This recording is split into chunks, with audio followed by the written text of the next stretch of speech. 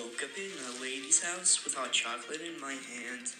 Didn't know where I was at. I didn't even have a plan. So then I moved in with this young woman. Did my best to live carefree.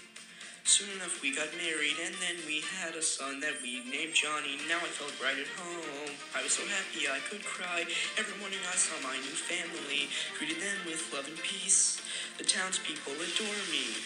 Miss my friends at the very least. I love my new life here. There's so much more to see. Things are finally shaping up for me.